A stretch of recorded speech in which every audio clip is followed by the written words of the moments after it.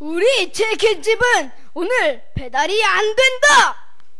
어, 치킨 배달을 또 깔았는데. 어, 오빠가 치킨 배달 시키라고 했는데. 이 녀석아! 오늘 치킨 배달 안 된다고 배달앱에 공지까지 올려놨는데 그것도 못 봤느냐? 아, 맞다. 괜찮아. 오빠가 치킨 시켜놨어. 너? 오빠? 진짜 고마워, 오빠.